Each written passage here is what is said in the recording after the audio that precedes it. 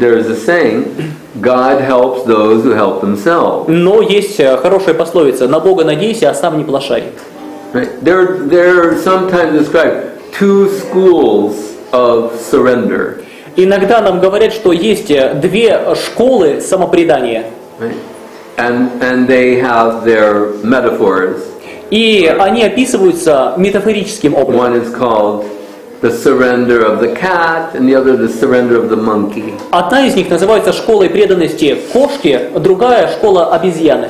We notice that the cat, she carries her kittens with her teeth. She grabs them with her teeth by the neck and just carries them around. Почему мы, почему это сравнение? Потому что мы видим, что кошка, заботясь о своих котятах, сама хватает своих котят за шкирку э, в зубах и в зубах носит их э, за собой. Nothing's required from the kitten. Со стороны котенка ничего не требуется. Just the cat picks them up and drops them there. Просто кошка хватает его в одном месте и переносит в другое. In the surrender of the monkey, you see this in India. The mother monkey, the baby monkey's holding the mother monkey and being carried. Но школа преданности обезьяны, э, в Индии мы можем увидеть, что обезьяна, мама обезьяна, она бегает, двигается по своим делам, и это задача детеныша, малыш- э, малыша, ухватиться за нее вовремя.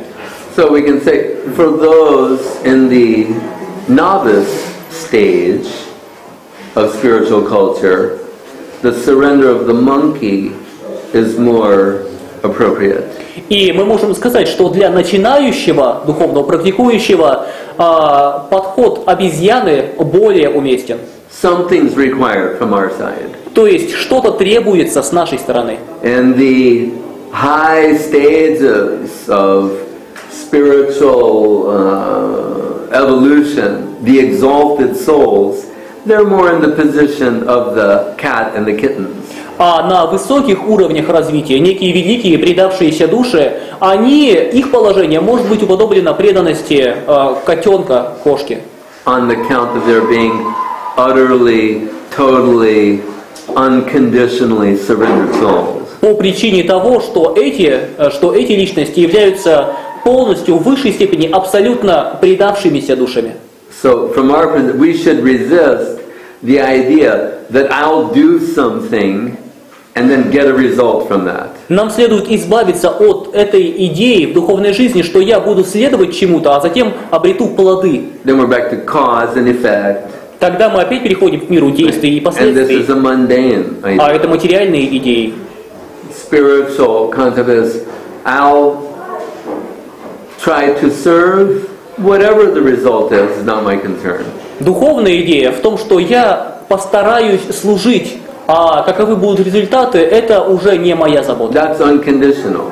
Это безусловно. Just like the, the closest parallel in the world is the mother and the child. Ближайшее подобие этому явлению в рамках этого мира отношения матери и, и In, дитя. in one sense, the child is exploiting the mother. В каком-то смысле ребенок эксплуатирует свою мать.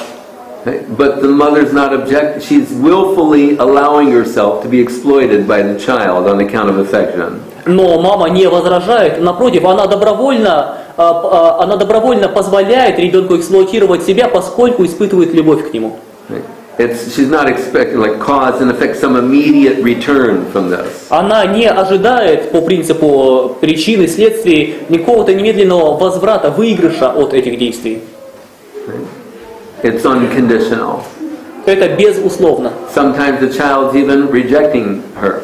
Иногда ребенок может даже отвергнуть ее, That doesn't cause her to reject the child. но это не становится причиной того, что она отвергает ребенка.